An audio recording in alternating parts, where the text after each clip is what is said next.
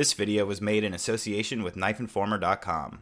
Head on over to Knife Informer for all of your blade related needs, including reviews, comparisons, stats, and more.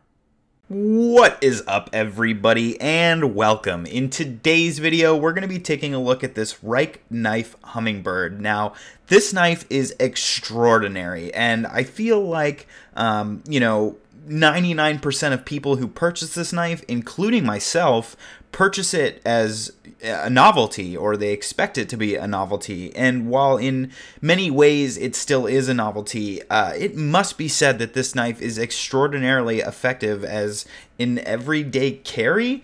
Um, as weird as it is to say that. So I'm really excited to talk to you guys about my experience with the knife um, and how it might be like a beneficial purchase to you as like an actual tool and not just a toy. So Let's go ahead and jump in here. Of course, before we start talking about the features and flaws, we're going to take a look at some statistics, starting with the overall length.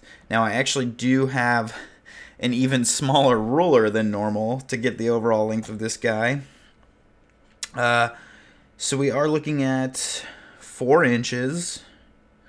Uh, just about exactly four inches, including this little uh, lanyard hole here. If we don't include the lanyard piece, it's about 3.9 inches or so. Um, so you can definitely see it's a super small knife. I think this one might even be worth showing you guys what the overall length is closed. Uh, so including that little lanyard here, we're looking at under two and a half inches. Okay, so it is a super, super dinky knife. That's what it looks like in my hand. Let's go ahead and get a size comparison working as well. Uh, I think it'll be you know really valuable to, to see what that looks like. So uh, there's the PM2 closed.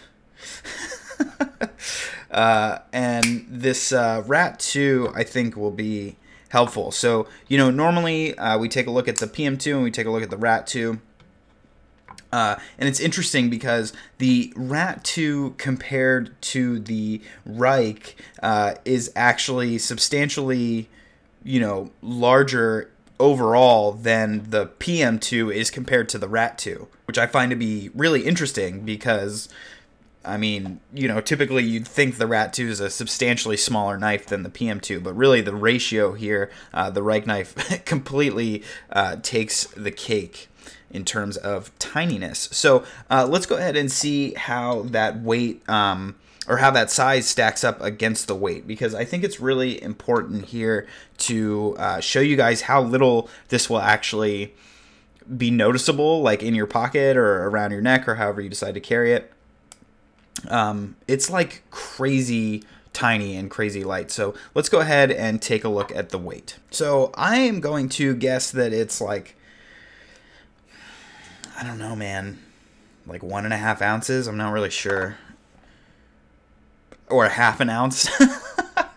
yeah, I really uh, it's it's super light. So um, you guys can see it just about half an ounce, right? Um, it's it's a super super small knife. You are not going to notice this thing on your person at all. So sort of adding it to your everyday carry uh, as I typically do, as like a supplemental knife, um, you know, you're not going to notice any difference uh, in the way that you feel. So uh, let's go ahead and jump into the features and flaws on this one. So I've had this knife for goodness, I don't know. It's been like over two months now, I think. I've carried it quite a bit. Uh, I've used it a few times. So when we go ahead and look at the sort of material showcase that I'm about to go over with you guys, do bear in mind that if you see any little um, scratches in the Damasteel etch or uh, any gunk inside the handle of the knife or anything like that, um, just know that when it came... Um, brand new. I bought it brand new. When it came, it was super clean, and they just did a really great job on executing all of the finishing work and everything on the knife. So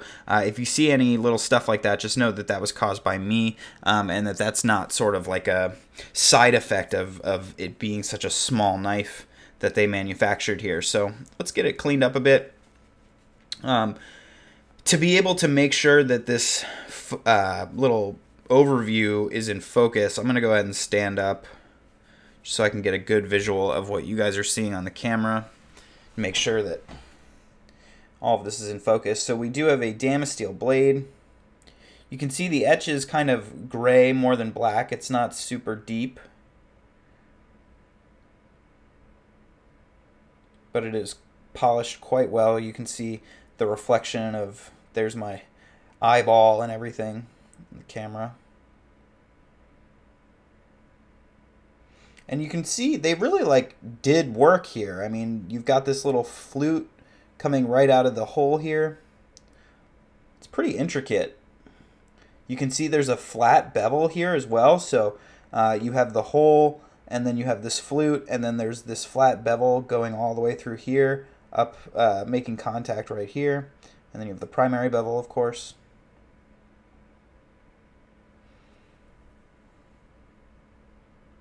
They've even done some almost Quaken shaping through the blade here. If we take a look at the handle, full titanium construction. They've done gorgeous internal milling. That's not not I don't mean like um, you know cutouts for weight, which they obviously have on the the skeletonized show side, but I mean you see this tiny pattern inside uh, on the um, lockside innards. They've machined like a little pattern. It's also on the presentation side. You can see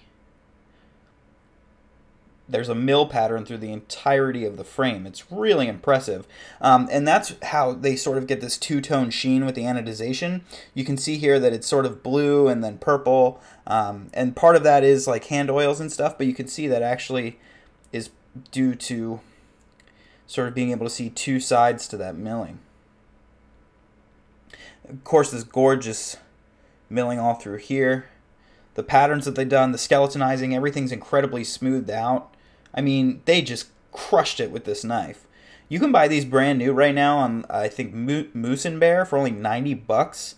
I mean, that's a freaking steal. This knife is incredibly well manufactured. Take a look at the lock side here. We still have the milling pattern. We have this cool clip, 3D milled clip. All these edges are fully contoured. And it is a super tiny frame lock. You can see here's our relief cut. And we actually do have a stainless steel lock bar insert with an over travel stop, as you can see if you look closely. So, all of the normal things you'd expect from a knife of this caliber, and we of course are running on bearings as well. There's like maybe six bearing balls per side based on what I've counted just by kind of looking in there. I haven't taken it apart. I don't really want to. You can see the centering's perfect. Well, slightly to the right, but that uh, honestly just looks like the blade grind more than the actual centering because up here the centering's perfect. So yeah, you guys can see. Um, as far as a showcase knife, it's actually really freaking gorgeous, and they took the time to make sure that when you look at it on a super small scale, um, you know, it still sort of comes to life and is still really well made. So I'm just super impressed with this little thing. It's it's pretty sweet. Uh, let's go ahead and jump into the ergonomics now. Ergonomics in a traditional sense, not traditional sense, uh, not exactly applicable here. Um, obviously, you can sort of saber grip it if you want. You do get two full fingers around here. Uh, your index finger actually does fit quite nicely into this uh, area here, and then your middle finger is just kind of left to curl around. Um, and remarkably, your thumb does kind of end up on this jimping. Now, uh, the jimping's just three little nubs Oh, sorry, I was off frame there. My bad. You can see the jimping's just three little nubs. But it works. I mean, it doesn't really keep you from slipping, but uh, it is where your thumb ends up. So technically, if you wanted to saw through a piece of rope or something with this thing, you freaking could, which is amazing to me. I just love how functional they made this tiny little knife. It's hilarious. But uh, yeah, if you really wanted to kind of saw cut through something uh, with this grip, you really could. But um, let's be honest, most of you, if you are cutting with this knife, you're going to be using a pinch grip.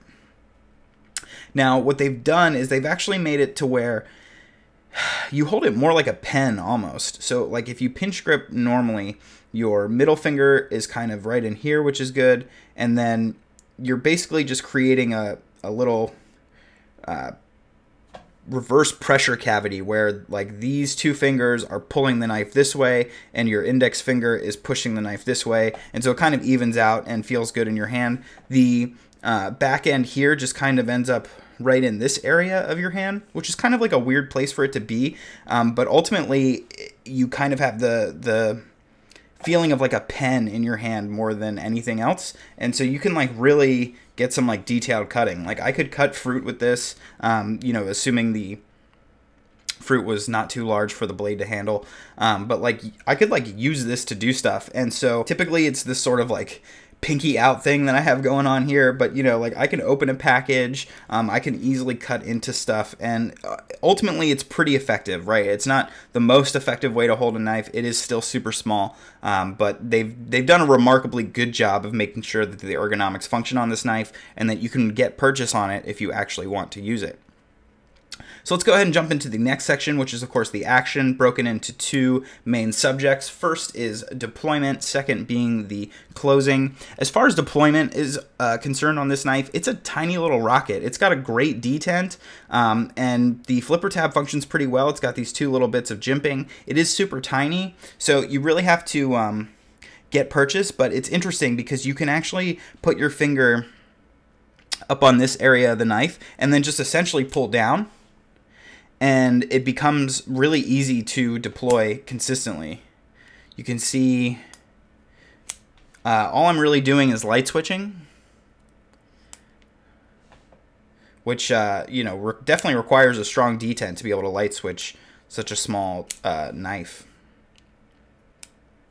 but it's really effective. I mean, you guys can see it really consistently deploys. Um, so that's pretty cute that it functions like that. Uh, you get great lockup. Uh, again, it's really consistent. It's snappy. It's pretty quick. Um, in terms of closing, it is a manual closer, even though it does have those, I don't know, five, six, seven bearing balls on either side. Um, you, it, it's Damasteel, and I'm sure they didn't really polish that interior.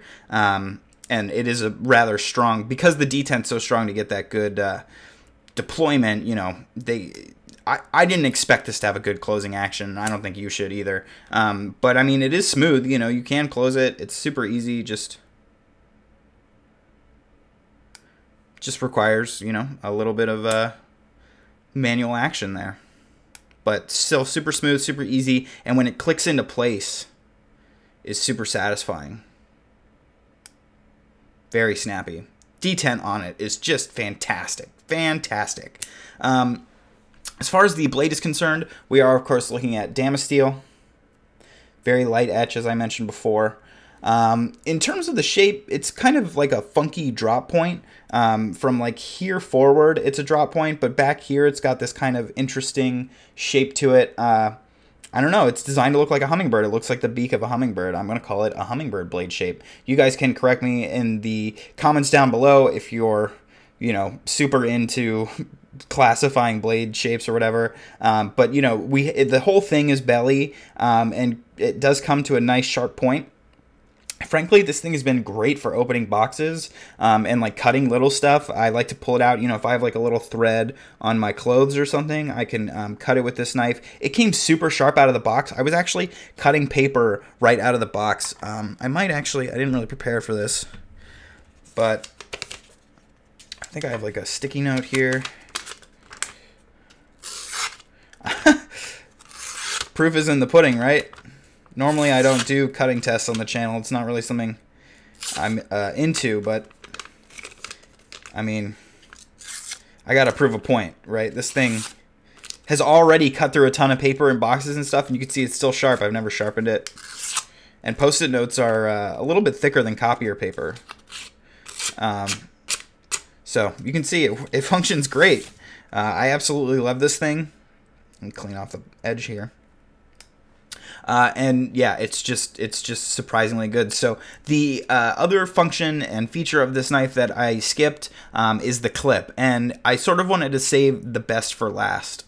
The clip on this knife is probably the most remarkable feature about it um, in terms of functionality.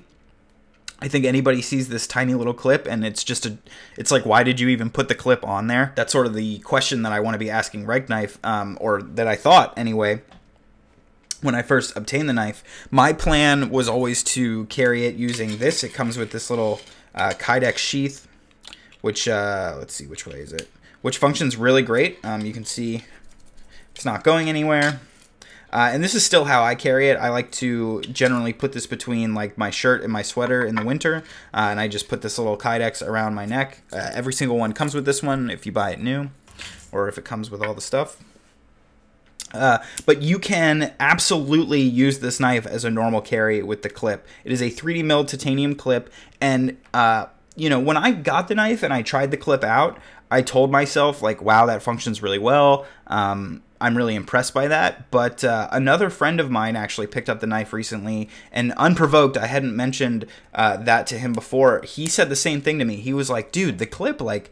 works like better than clips on some of my full size knives and uh, i was like yeah man okay cool i feel validated so um, i do feel comfortable saying to you guys that like this clip is better than it is on certain knives um, it literally like slides right out of the pocket. It's got great retention. Um, it clips onto your pants like really well and really easily. Uh, sort of two-handed just to so you don't fumble with it um, but like not difficult to push into the pocket at all and functions really well so i guess the overall point that i'm trying to make about this knife is that it's incredibly efficient as a knife. It's going to cut paper. It can cut, um, you know, something like a banana or something, as long as it's not like a huge apple uh, where the where the blade's too short. It can cut uh, through little strings that you have. It can it can you know open your envelopes and and do all kinds of little stuff and you can keep it in your pocket just like a regular carry. Uh, you can deploy the knife you know almost just like a fidgeter.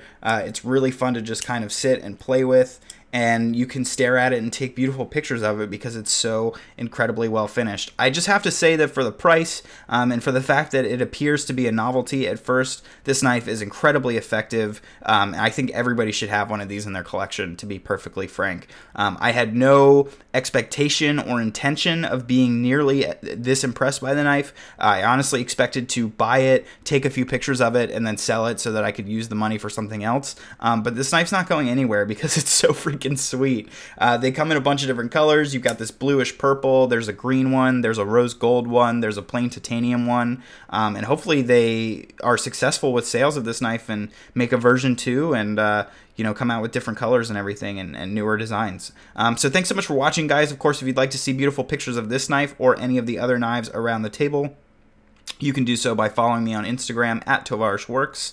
Uh, if you'd like to reach out to me for any reason whatsoever, be it sending loaners or asking questions, or you just want to chat, you can do so by emailing me at tovarishworks at gmail.com. And if you enjoyed this video, please consider subscribing. Thanks so much for watching, guys, and I will see you next time.